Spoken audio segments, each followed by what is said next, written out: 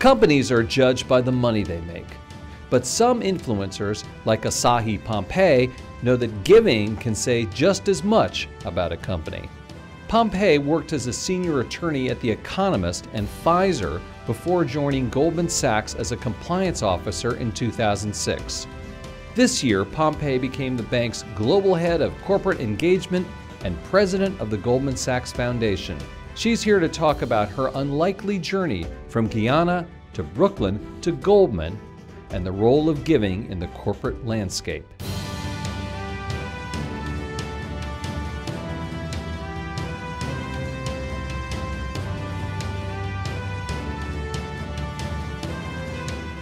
Hello, everyone. I'm Andy Serwer. Welcome to Influencers and welcome to our guest, Asahi Pompey, Global Head of Corporate Engagement and President of the Goldman Sachs Foundation. Asahi, welcome. Andy, it's great to see you again. So tell us, first of all, you have two titles, maybe two jobs. What does that entail at Goldman Sachs? So I'm the president of the Goldman Sachs Foundation and also the global head of corporate engagement. And what does that mean? Well, over the last decade, Goldman Sachs has deployed $2.5 billion across our philanthropic footprint. Through our donor advised fund, Goldman Sachs Gives, we've donated $1.5 billion, a lot of that to needs-based financial aid. And so I feel extraordinarily fortunate, Andy, that I can help Goldman Sachs direct those philanthropic dollars in terms of the communities and the uh, areas and individuals who need it most. So historically, Asahi, let's face it, I mean, philanthropy was something that a company did sort of, you know, in the side door, yeah, we have to do that. But it seems to me it's become more core to companies like Goldman Sachs. Why is that, and, and how is it connected to the core business? You're exactly right. It is core to what we do. As we think about Goldman Sachs more generally, we think about Goldman's focus on clients, Goldman's focus on growth, Goldman's focus on impacting the economy and helping businesses and clients grow. That same rigor and that same lens that we approach our client franchise, we do that across our philanthropic footprint as well. So my clients in part are our 10,000 small businesses that we work with through our Goldman Sachs 10,000 Small Business Program, as well as our 10,000 Women program. Those are our two signature programs of the Goldman Sachs Foundation. And so philanthropy is something that is central to what we do. Andy, if I were to take you to Goldman Sachs this afternoon and we walk into that lobby, what you would see is a huge mural on our ground floor that has the word service on it. And it has photos of individuals who've worked at the firm over the last 150 years. We're actually celebrating the firm's 150th anniversary this year. And it's about that life of service, whether it's Robert Rubin or Hank Paulson or other individuals, you know, who have contributed over the course of the firm's history. But that life of service and that being core to what we do is absolutely central. I mean, some people would say, look, I mean, Goldman Sachs is an investment bank. It's all about making money and that, you know, you're helping these people just to make yourselves look good or that you're, you know, sort of getting them into the Goldman Sachs fold. Is, is that the case or how does that work? People often ask exactly this, which is why is Goldman Sachs doing this? Here's what Goldman knows. We know the power of small business, and we've decided to double down on helping small businesses across our country and across the world grow. To level set, here are a few things. Mm -hmm. There are 30 million small businesses across the United States. Those 30 million small businesses account for 60 million jobs.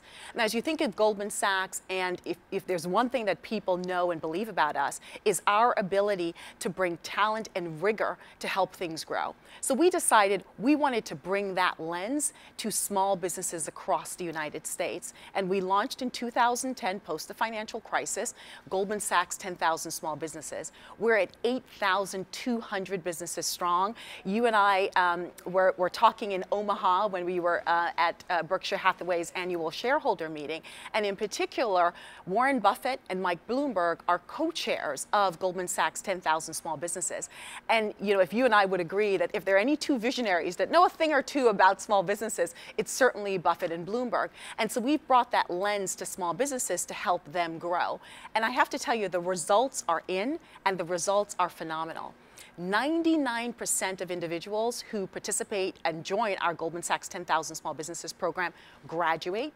It's a program that's centered around three things education, practical education to small businesses, and in particular, underserved small businesses, diverse small businesses, small businesses on Main Street in America who really need help. Secondly, they're focused on creating jobs in the communities. As we look at what's the result, does it matter? Why is Goldman doing this? Because we want to impact that ecosystem of small businesses to help communities grow. And so if you think about small businesses overall, you know, and you and I both know, that 50% of small businesses don't make it past the five year mark. And only one in three make it past the 10 year mark. And so we brought our, our tools, our apparatus to bear on businesses across the country, and we've been able to change that direction. In particular, as we look at the 8,002 businesses that we've studied, any number of them, upwards of 78% of them, say that they've grown their revenue over 30 months. Compare that, benchmark that to uh, a similar group of small businesses, that number is 47%. So our cohort is at 78% growing revenue, regular cohort 47%. What about job creation? As we listen to the news, uh, we can't turn it on without hearing about jobs and the importance of jobs and the importance of workforce. Well, that population of 8,000 businesses, as we've, uh, as we've polled them, have over 30 months, 57% of them have created jobs. Small businesses benchmark generally, only 25% of them create jobs. So that's the reason Goldman Sachs is doing it. And you've been at Goldman, Asahi, since 2006, I think, right? Yes. And you've seen, you mentioned diversity. I mean, you must have seen a tremendous increase, quite honestly, in diversity and inclusiveness at Goldman Sachs. How do you measure that? And, and in fact, have you seen that? Yes, I absolutely have seen that. And we measure it. If there's anything we do Goldman Sachs is we measure, we track, and we metric. Now, I have to tell you, Andy, on a very personal level, um, I was part of Goldman Sachs's last partner class. And under the leadership of our CEO, David Solomon, Goldman Sachs entered 2019 with the partner class that had the largest number of women, 26 percent and the largest number of African Americans, 6% in the 150 year history of Goldman Sachs. Now, we're certainly continuing to work and see those numbers grow, but it certainly speaks to the direction in which the firm is growing and its commitment on a very practical level to diversity and growing diverse talent. Let's talk about your personal story a little bit, Asahi. You grew up um, in Brooklyn, but came from Guyana, right? That's Talk correct. to us about that a little bit. Well, Andy, as you know, Guyana is a tiny country in South America. Its population is less than 800,000 individuals. And on October 7th, 1981, when I was nine years old, my family of seven came to Brooklyn, New York to Foster Avenue in East Flatbush, and we moved into the Vanderveer housing projects. Um, one might argue that's not a very likely path uh, to end up as a Goldman Sachs partner. But on a personal level, my life has really been marked by opportunity. Uh, the opportunity to study in Japan. I started studying Japanese. My name, as you know, means morning sun in Japanese, and I found that out when I was 14, just at the time that New York City public schools were increasingly offering Japanese programs.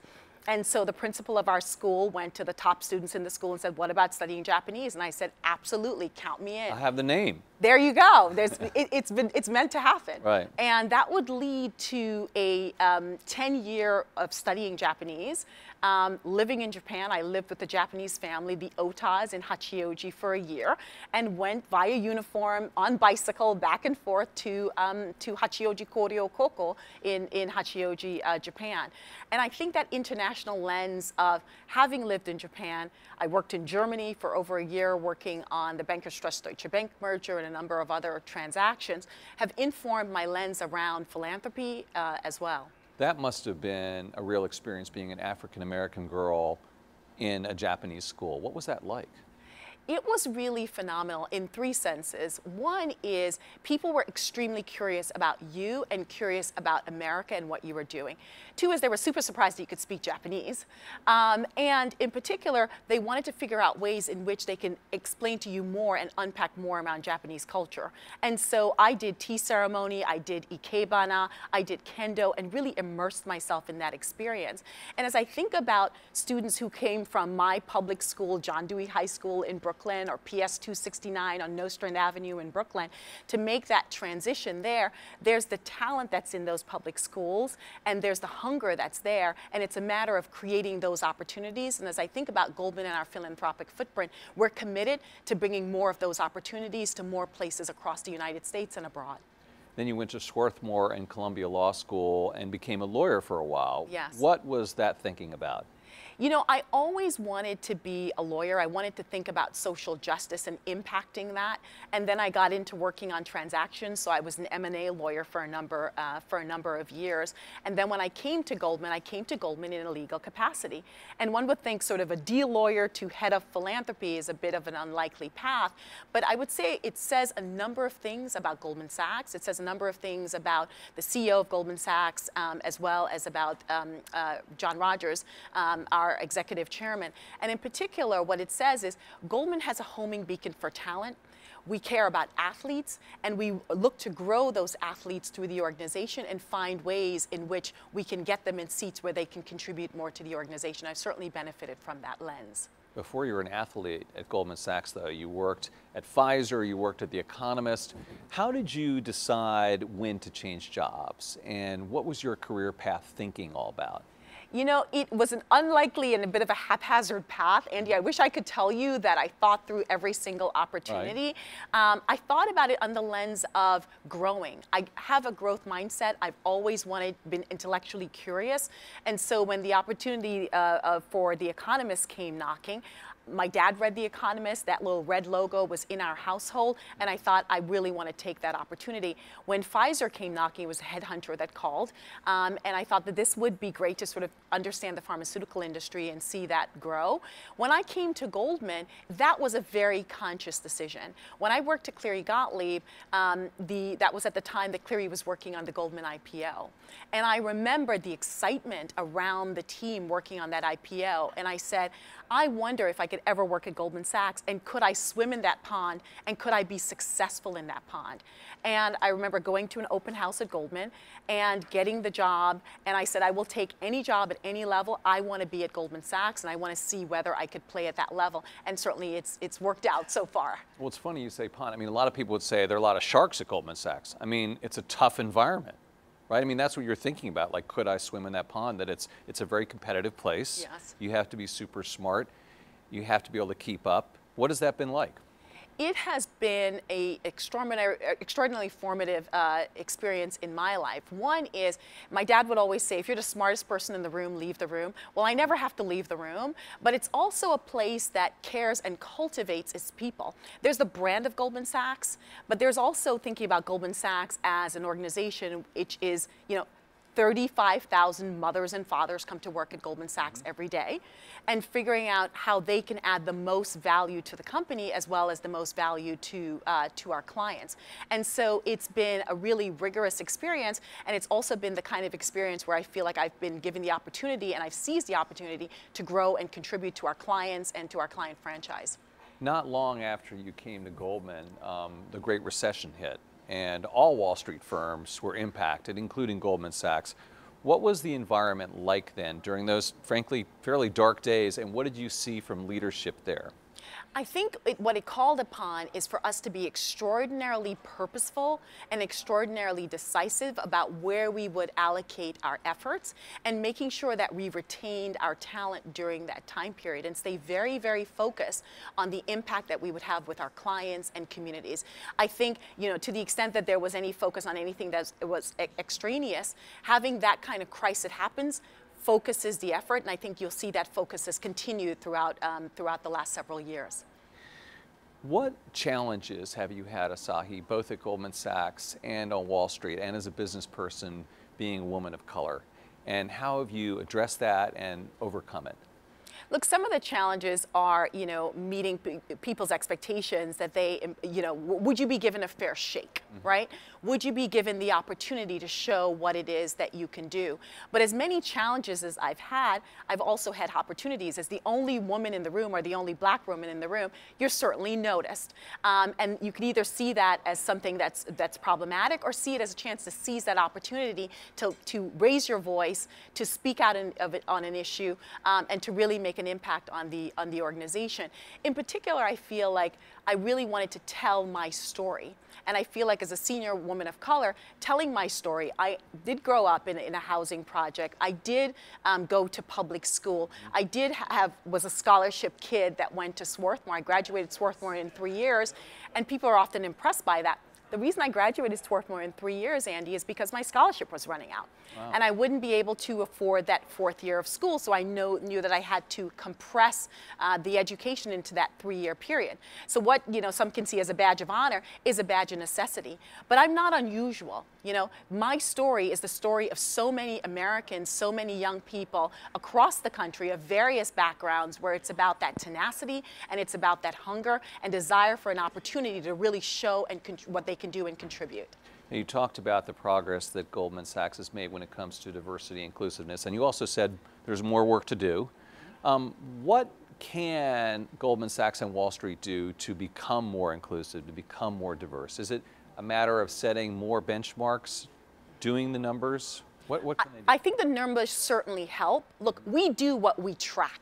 You know, science shows that, the evidence has shown that. So I think certainly tracking it and being very thoughtful around that is particularly important. But I would say two other things. One is casting a wide net you know, casting a wide net to beyond those, you know, top schools that you usually go to, to broader group of liberal arts institutions, to a broader group of historically black colleges and universities, to international students as well. Sort of casting that broad net, I think, is another thing that's particularly important.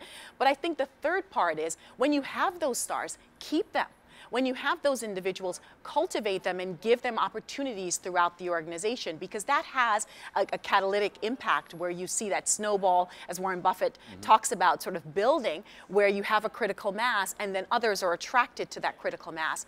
And one thing I have to say, our CEO, David Solomon, not only knows that, but is doing all of those things.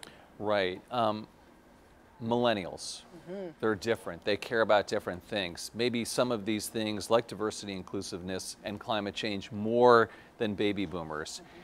How are you guys managing that cohort at Goldman? Well, 76% of Goldman Sachs are millennial and Gen Z, hmm. right? Not a lot of people know that. And that impacts, exactly right, Andy, the way in which we do our business and certainly in the way in which I think about our philanthropic efforts. We did something four years ago that has been phenomenally successful to that population that I want to tell you about. It's called the Analyst Impact Fund. Now, if you dial back the lens in philanthropy, years ago, decisions around philanthropic efforts were really run by the C-suite. You know, know, a CEO and a small group of individuals, they made those decisions. Goldman Sachs decided to go in a different direction. Certainly we have our foundation, but we also said, what, what about democratizing that? What about allowing a broader group of individuals to be able to direct those philanthropic dollars? We've certainly done that through Goldman Sachs Gives, our donor advised partner fund, but four years ago, we launched the Analyst Impact Fund any company, any organization around the country and around the world, frankly, can do this as well. And what does it do? It goes out to your organization and says, is there a charity, is there any organization that you know about that, frankly, may never come to the attention to senior individuals at Goldman Sachs that's doing fantastic work, whether it's dealing with battered wives, it's dealing with the opioid crisis that's gripped our nation, whether it's dealing with water purity in, in various jurisdictions.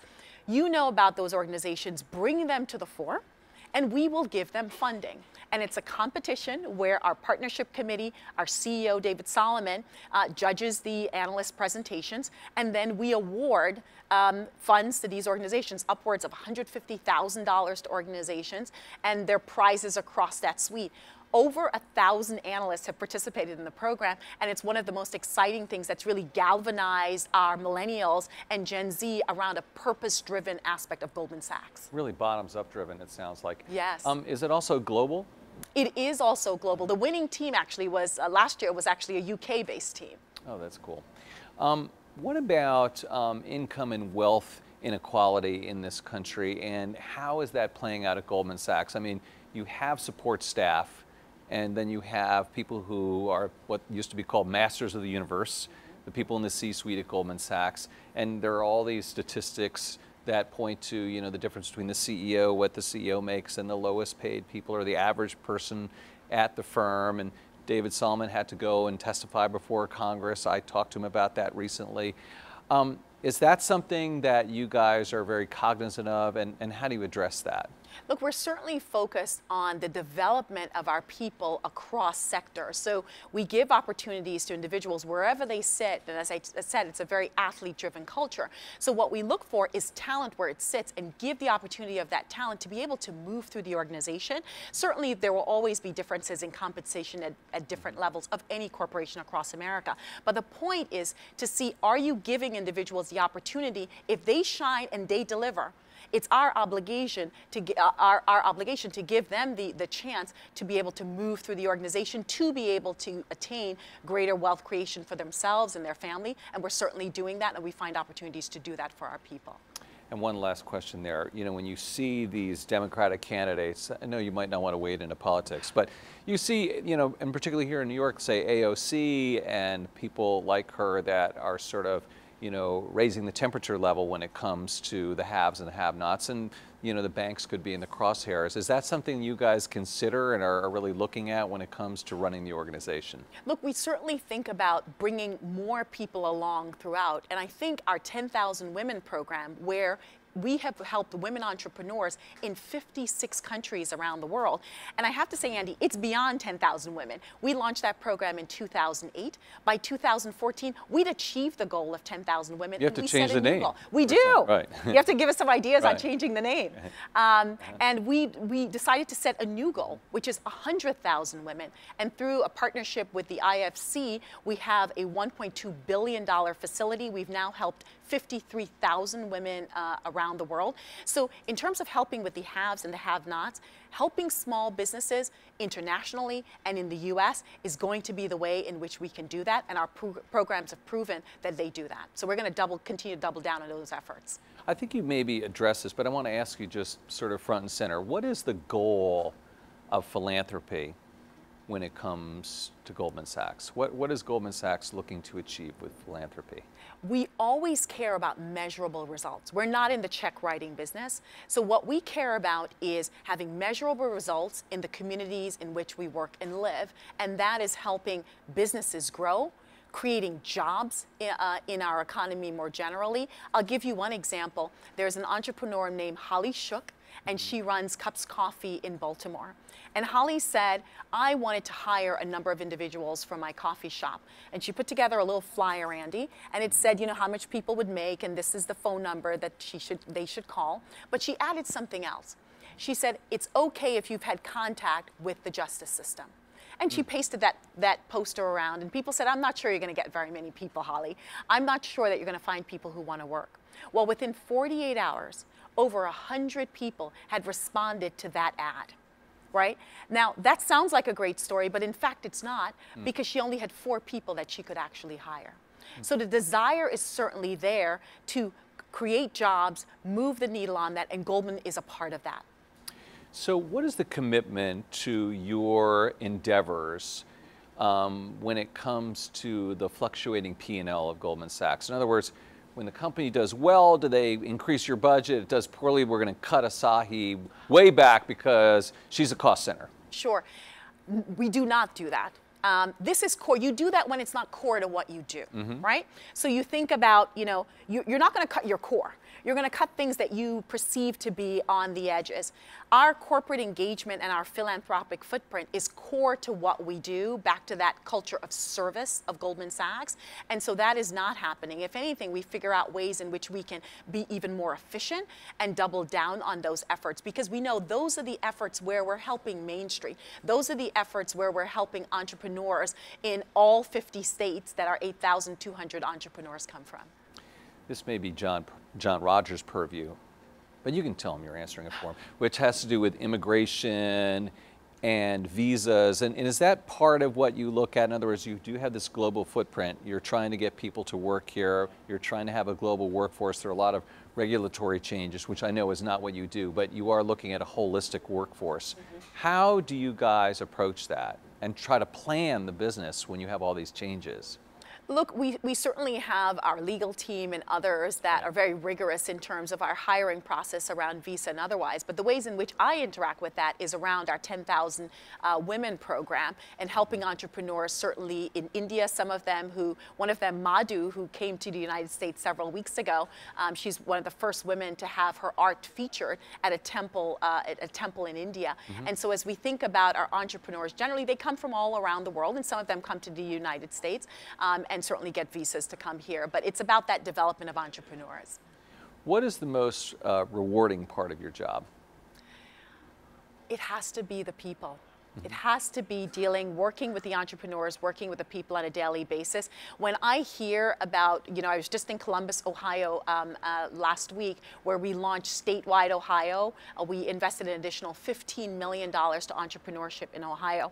And I sat around the table, Andy, with 15 entrepreneurs who were talking about the challenges of running their business, talking about cashing out their 401k to fund their business, talking about, you know, getting access to capital um, and going to the bank and filling out the paperwork and sort of hoping and praying that you're going to get the funding that you need to move the needle in terms of the lives of each of those individuals and their businesses and knowing the blast radius of the daughter, the sister, mm. the son that's helped as a result of that, that is extraordinarily rewarding and it motivates me as I think about my two sons, Maximilian and Sebastian, and their lives and their trajectory. That one entrepreneur that you help, there's this whole ecosystem of individuals that you're helping and a community that you're uplifting as well. And you told me those guys are going to public school like you did, right? They in New York are. City? They are. They go to PS9 on right. the Upper West Side. Yeah. Right. Let me ask you a little bit about your cohort and your colleagues at other Wall Street firms, say at Morgan Stanley, JP Morgan, maybe Wells, Citi. Do you get together with them and share strategies in terms of how to achieve, say, things when it comes to diversity and inclusiveness on Wall Street? Yes, we do. We certainly um, meet with individuals at other firms and think about what strategies are, are they employing. Um, we also, frankly, know each other. It's, it's a relatively small network of individuals, and so we see each other at events and the like, and we're friends. Um, and we all care about rising the tide of um, individuals of color, women across Wall Street, and our CEO, David Solomon, is absolutely committed to that. Sam, what about, if I may ask, your personal commitment to philanthropy? I mean, it must be so daunting in that you see so many worthwhile organizations, then you do it every day. I mean, how does someone like yourself look at philanthropy, Asahi? It's hard because there are so many amazing organizations uh, that are across the country and they come to me. And so my email is often flooded. And I was just at a conference uh, on Saturday. And after I spoke at the conference, I had a long line of individuals telling me about their various organizations. And they're doing fantastic, fantastic work. Look, you have to be discerning about where you uh, give your dollars. You have to think about what the impact is going to be uh, uh, of your giving in that particular area and sustained giving. You don't want to sort of dip in and dip out, but have a real purpose-driven commitment, and we've certainly done that through our Hallmark programs. Right. And when you have this transition from Lloyd Blankfein to David Solomon, what is that like with someone like yourself? Do you, the C new CEO said, okay, I'm committed to what you're doing and want to take it to another place? Or is there sort of a handoff when it comes to responsibilities for you when the CEO changes like that? Sure. So when the CEO changed, I had a meeting with uh, David Solomon, and he said, look, we're excited uh, that you're in this seat, Asahi. And what he said to me is, bring me your ideas. I want to know where you think our philanthropic footprint needs to go. I want you to think about our 76% um, Gen X and, and millennials. I want you to think about my commitment to diversity, to advancing women, and I want you to come back with your ideas in the direction you think we should take it. And it's that kind of um, not only commitment, but autonomy that employees are given in terms of directing and really impacting the course of the firm that I think is one of our key differentiators, Andy. Is it tougher to have this job with during this administration in Washington, or does that not matter? You know, I think that, you know, it's very mission driven. So whatever the administration is, there's certainly going to be uh, there's certainly going to be challenges. If anything, it's extraordinarily motivating. There's a fire in my belly mm-hmm. around making sure that we're making an impact in the communities in which we work and live. And so I see it as fuel. Right. And uh, finally, Asahi, this show is called Influencers. And so I have to ask you, how do you see using your influence on the world? You know, I want to use my influence in being in this seat to really figure out the key communities in which we can make an impact and move the needle in a relatively short period of time. We're doing that with entrepreneurs. We're doing that with women. We're also going to have um, a summit on the opioid epidemic, but there are other areas as well in which we can really move the needle. And so to me, that's where my influence is going to be. And when I look back on my tenure as president of the Goldman Sachs Foundation, is seeing exactly where we've moved the needle on women, on entrepreneurs, and the key issues of our day. A lot of work ahead of you? Absolutely, but I'm up to the task. Great. Asahi Pompey, Global Head of Corporate Engagement and President of the Goldman Sachs Foundation. Thanks so much for joining us. Andy, great, great being here. Thank you. You've been watching Influencers. I'm Andy Serwer. We'll see you next time.